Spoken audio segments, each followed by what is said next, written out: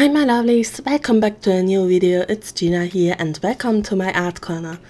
For today I have the 14th day of Inktober for you. And if you don't know what Inktober is, Inktober is the month of October where you try to use ink every day.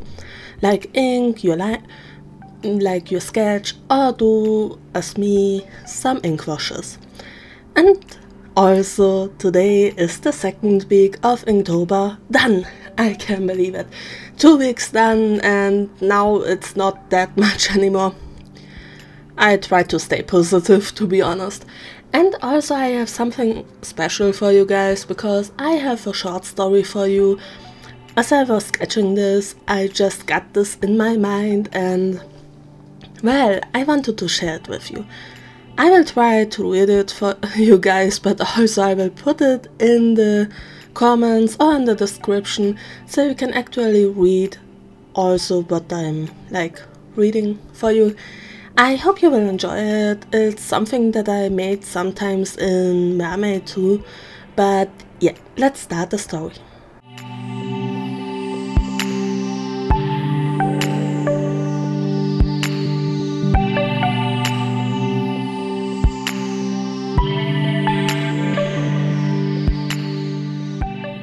He felt how the anger overtook the sadness.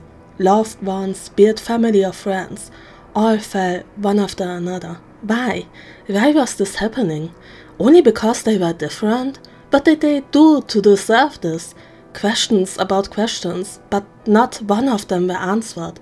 Shivering, his fists clenched. He was a good man, he never harmed anyone. But if they didn't want to be peaceful, then he could change. He would show them what would happen if you hurt his family, his friends. On this day, the warm heart closed itself, hidden in a safe place. Today was the day where an antagonist was born. They wanted to know what was fear and terror. He would show them and never let anyone hurt one of his kind again.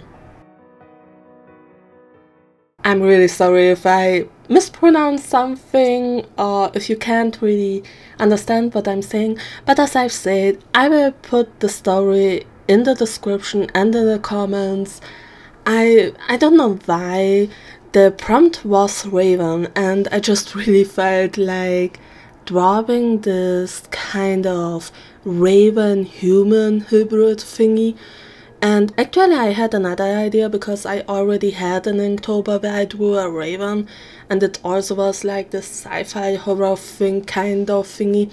And I wanted to do a redraw but suddenly I had a, this idea of just like having this human bird kind of thing.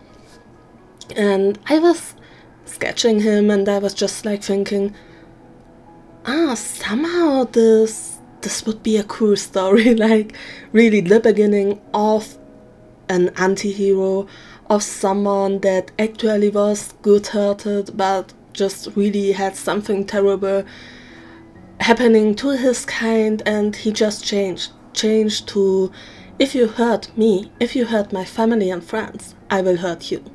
And I will like spread the fear to you so you don't even think about harming us. So kind of that way and yeah, I also gave him darker skin because I really thought that would suit this raven kind of race.